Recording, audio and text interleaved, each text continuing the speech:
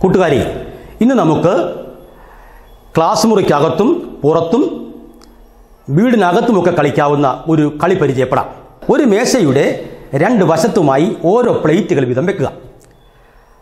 അതാണ് നമ്മുടെ finishing point രണ്ട് പേർക്ക് മാത്രമേ ഈ കളിയിൽ കളിക്കാൻ കഴിയൂ. എത്ര പേർക്ക് വേണമെങ്കിലും നമുക്ക് ഈ കളിയിൽ പങ്കെടുക്കാം. മറ്റേ മേശയാണ് നമ്മുടെ സ്റ്റാർട്ടിംഗ് പോയിന്റ് ആ മേശയ്ക്ക് ഇരുവശങ്ങളിലുമായി രണ്ട് കുട്ടികൾ നിൽക്കണം.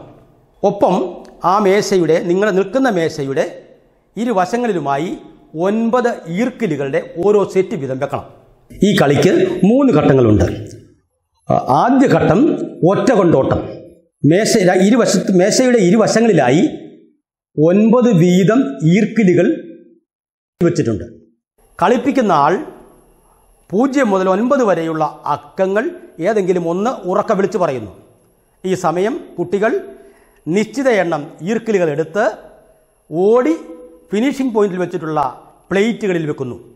ആരാണോ ആദ്യം പ്ലേ പ്ലേറ്റിൽ വെച്ചിട്ടുള്ളത് അവർ വിജയികളായി പ്രഖ്യാപിക്കും. ഘട്ടം രണ്ട് പത്തിലേക്കോട്ടം.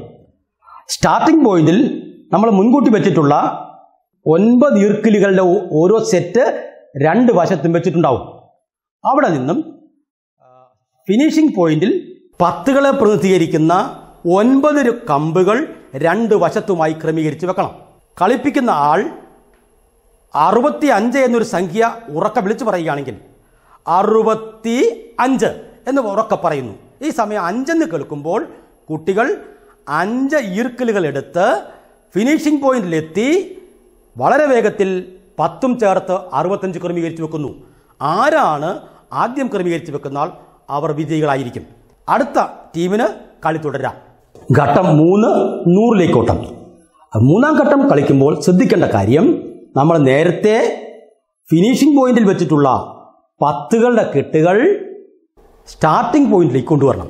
അപ്പോൾ സ്റ്റാർട്ടിംഗ് പോയിന്റിൽ ഒന്നുകളുടെ കൂട്ടമുണ്ടാവും പത്തുകളുടെ കൂട്ടമുണ്ടാവും. ഫിനിഷിംഗ് പോയിന്റിൽ നൂറുകളെ പ്രതിനിധീകരിക്കുന്ന വലിയ കമ്പുകൾ രണ്ട് വശങ്ങളിലായി ഒൻപതെണ്ണം വീതം ക്രമീകരിച്ചിരിക്കണം. ശരി അങ്ങനെയാണെങ്കിൽ കളി തുടരാം. എങ്ങനെ കളിക്കുക? കളിപ്പിക്കുന്ന ആൾ മുന്നൂറ്റി നാൽപ്പത്തി ആറ് എന്ന് പറയുമ്പോൾ കുട്ടികൾ ആറ് ഒന്നുകളും നാല് പത്തുകളും എടുത്തുകൊണ്ട് ഓടി ഫിനിഷിംഗ് പോയിന്റിലെത്തി നൂറുകൾ ചേർത്ത് വെച്ച് മുന്നൂറ്റി നാൽപ്പത്തി ആറ് ആരാണോ ആദ്യം ക്രമീകരിക്കുന്നത് അയാൾ വിജയികളാവും. വ്യത്യസ്ത ടീമുകൾ വെച്ച് കളി നമുക്ക് തുടരാവുന്നതാണ്. പുറത്ത് കളിക്കുകയാണെങ്കിൽ മേശയുടെ അകലം മാറ്റി മാറ്റി വെച്ച് ദൂരേക്ക് വെച്ച് ഓടിക്കളിക്കുകയാണെങ്കിൽ നമുക്ക് വ്യായാമത്തിനുള്ള അവസരമാകും. ഒപ്പം കണക്ക് പഠിക്കാനുള്ള വലിയൊരു സാധ്യതയും ഇതിലുണ്ട്.